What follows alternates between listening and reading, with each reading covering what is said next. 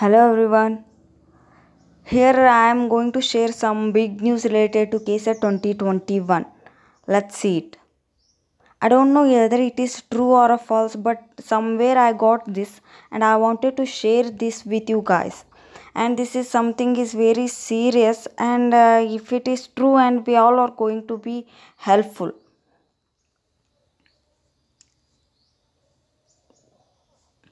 And this is something they are about related. Someone made the complaint about the answer keys and the wrong keys they are provided. And all those things uh, multiple objection causes a lot of uh, money. Regarding this they made the complaint and pratap simha sir has provided the response and let's see what is going to happen i don't know this about this is uh, true or not but if it is uh, true then i am really happy because this is a very serious matter i hope this is true and all the wrong things going to be corrected by those authorities only and uh, big thanks to the person who has made the complaint and the Pratap sir who provided the immediate response.